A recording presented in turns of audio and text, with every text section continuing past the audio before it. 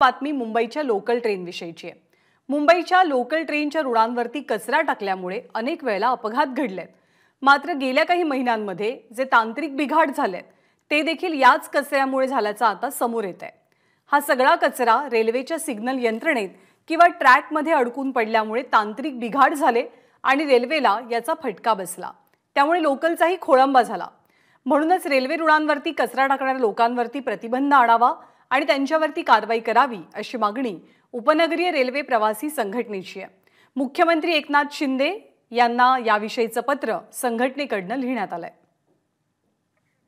अक्षय भाटकर आपल्यासोबत आहेत. अक्षय अगदी थोडक्यात की कचरा टाकल्यामुळे रेल्वेचा खोळंबा नेमका कसा होतोय आणि उपाययोजनांसंदर्भात हालचाली सुरू झाल्यात का?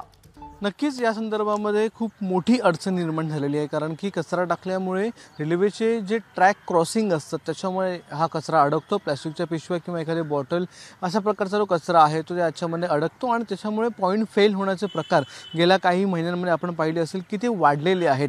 हा सगळ्यात जास्त फटका जो आहे तो ट्रान्सहार्बर लाईन असेल किंवा दिवा कळवा हा भाग असेल. त्याचबरोबर कांजूरच्या पुढचा विक्रोळीचा वगैरे भाग असेल कुर्ल्याच्या ठिकाणचा भाग असेल.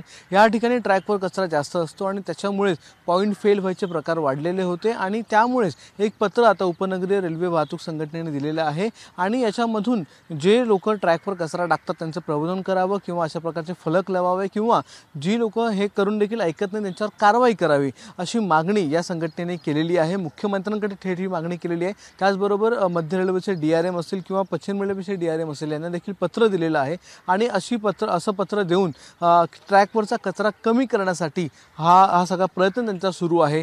दरवर्षी ट्रॅकवरून जवळपास दोन ते तीन टन कचरा हा काढला जातो. त्याहीपेक्षा जास्त ते ट्रॅकच्या बाजूच्या गटारांमधून कचरा काढला जातो. आणि या सगळ्यावर एक उपाय म्हणून लोकांचं प्रबोधन करावं ट्रॅकच्या बाजूने भिंती उभ्या कराव्यात अशा प्रकारची मागणी आता या रेल्वे प्रवासी संघटनेने केलेली आहे.